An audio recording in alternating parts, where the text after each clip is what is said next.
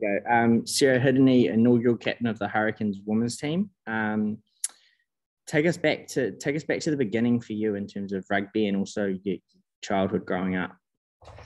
So I didn't start playing rugby until I was 13 at Feilding High School, and um, oh, a lot of people know, but Rob Jones was a coach there. He got me into the sport, and I just absolutely loved it right from the get go. The people I got to play alongside, all my best mates were going to play, and so yeah, it was about creating friendships, and I just loved the sport for what it was.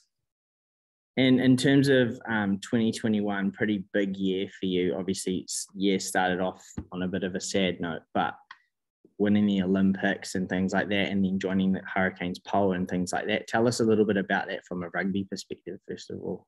Yeah, it was an amazing year uh, for rugby, and to be able to achieve a goal that a number of us had had for a long time at the Olympics was absolutely um, amazing and special and emotional all in all in one go. So, yeah, to to achieve something like that um, was amazing for New Zealand, and then to be able to be named um, as a as a player in the Hurricanes Poua team as well. It was a pretty surreal year, really, um, and something that I probably hadn't really looked into to play in a super team, but had always followed the Hurricanes. Um, still have jerseys from when I was a kid, and to then be named in the in the same club as people you kind of idolize is yeah, it's, it's a pretty surreal feeling.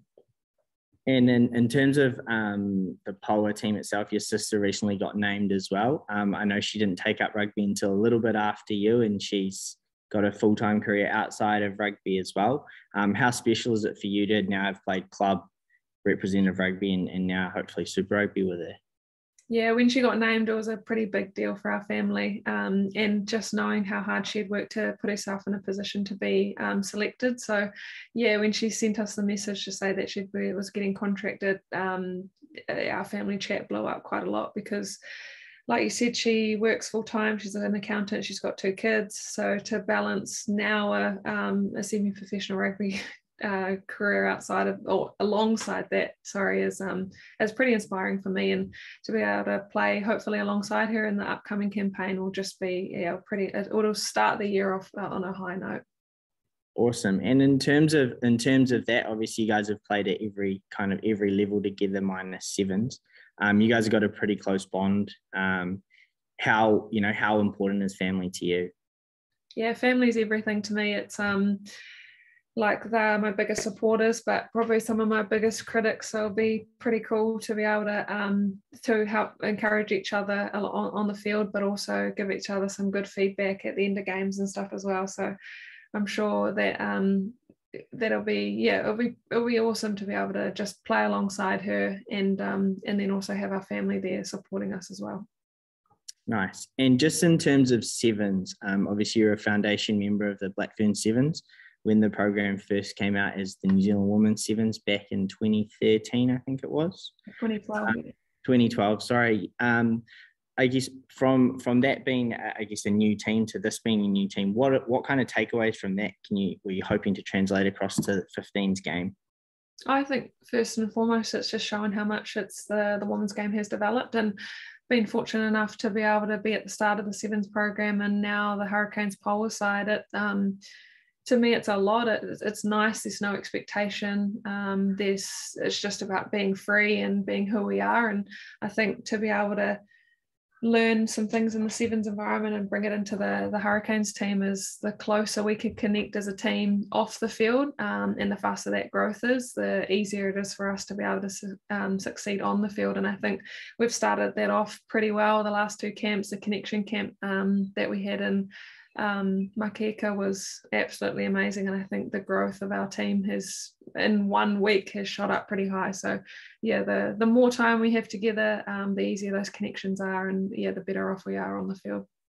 In, in terms of the competition, it's pretty groundbreaking for women's rugby. This is a massive year for women's rugby in the world, not not just New Zealand. Um, what are you hoping that um, Super Rugby can inspire in the next gen of women's rugby players? Oh, just like I, I think for me is about making that impact and making that impact around the world and um, just creating another opportunity for young girls and boys to want to aspire to keep um, driving through passions and being committed to something um, because opportunities do arise and like this one has is um, you we're now playing for uh, the Hurricane Super Club, which is yeah probably a few years ago would have been not talked about. So yeah, for me it's just about continuing to make an impact off the field and show that um, when an opportunity comes, just grab it with two hands and, and go with it. Nice.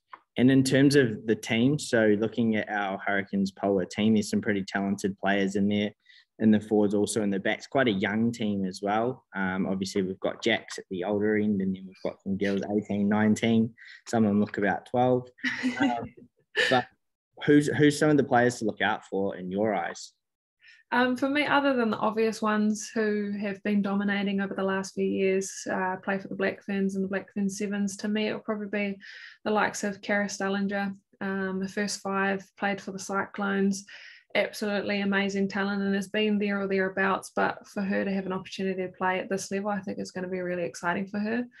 And um, and I think probably um, another one, Sapphire Abraham. She's very young in the front row um, and has yeah is committed to playing for the Hurricanes, um, obviously from Auckland. So to be able to have another youngster like that in in this kind of environment, you can see them thriving already off the field. And we obviously had a couple of trainings on the field, and you've just seen how special they really are. So I think those two will be a really cool watch for us.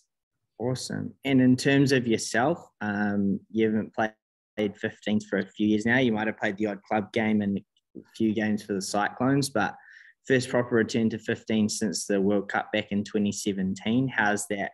How are you finding the adjustment so far going from sevens to 15s and then back to sevens during the week? Yeah, I'm, I'm a little bit nervous by that, to be honest. Um, obviously, I pride myself on being really prepared and um, especially for sevens, but to not have the game time or, or things like that behind me in 15s. Um, like I know I've got a lot of work to do, so just trying to do everything that I can back here before we go into camps, um, doing my homework as best that I can, and just try and put my um, yeah, just trying to do things that I know that will help the team out. And at the end of the day, when I obviously if I get the opportunity to put the Hurricanes Poua jersey on, then I'm just going to go as hard as I can and um, sometimes that might be a speed bump in the forward pack, but that's all right. I'll, I know that I'll give everything I possibly can to this team. Nice, nice. And in terms of, I guess, just that preparation, so you'll give people a bit of an insight. So obviously, you assemble for four days around your matches and training camps. What does the, rest of the week look like for you in terms of your training, obviously with the sevens, but also trying to translate across the 15s, plus how they remotely monitor you? Yeah, so we're pretty lucky that we'll, we'll be based with the Hurricanes um, Poua team from Thursday to Sunday, depending on when the game is. We'll get back on a Sunday night. Uh, Monday will be used as a recovery slash flush day. And then uh, Tuesday, Wednesdays will be back into somewhat of a training depending on how we're feeling. And we're fortunate enough that with the Sevens management, um, they will allow us to not come back into sevens as such. So our training will be based around still um, high speed um, Mets, but it will also be around what do we need in the week to help us to prepare for the game on Saturday. So like yeah, it's it's been really awesome, and obviously we.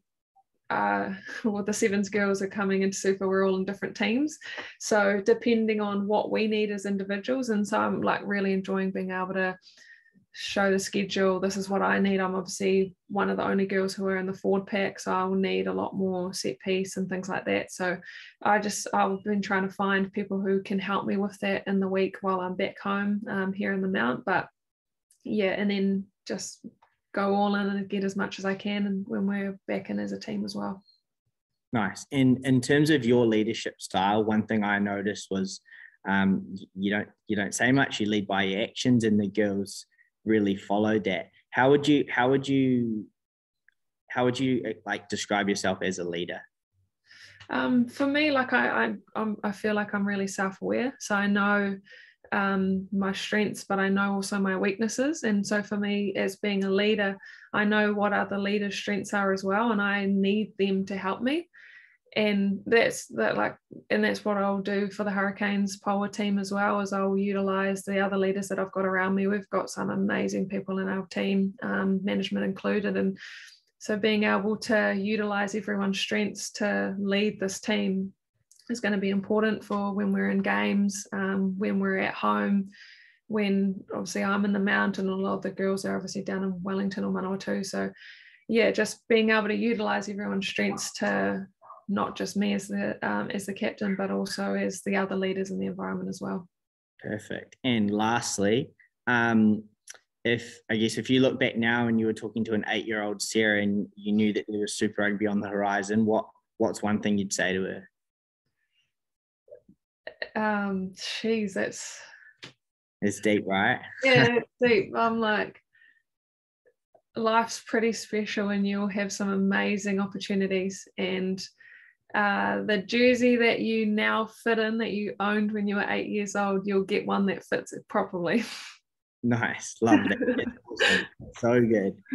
Awesome, thanks. I'll just pause that recording there. Um, and so, just if you, you had one, I guess, one message to the, the people in the Hurricanes region from the Hurricanes Poua, what what would that be? For us, playing for the Hurricanes Poua is a dream come true. We get to represent our provinces um, and our wider region of the hurricane. So we would love for the region to get behind us, to back us, to support us as much as you can, um, whether that's in game, whether that's on TV, during social media. Uh, any support helps us, and we can feel that support from afar. So um, please get behind us. We are doing this for you guys. And in terms of the Hurricanes members and fans, we're obviously looking forward to a home game against the NIB Blues on the 12th of March any any messages for the for the members and fans who are looking to get along to that one? We just can't wait to meet our fans. We um, can't wait to play in front of you. We can't wait to show you um, how much we've been working on um, uh, rugby wise as a team. And yeah, just meeting, interacting with as many fans as we can. And we can't wait to see you guys there. And hopefully, uh, you're wearing as much um, yellow and black as you can. Job done. I think that's us.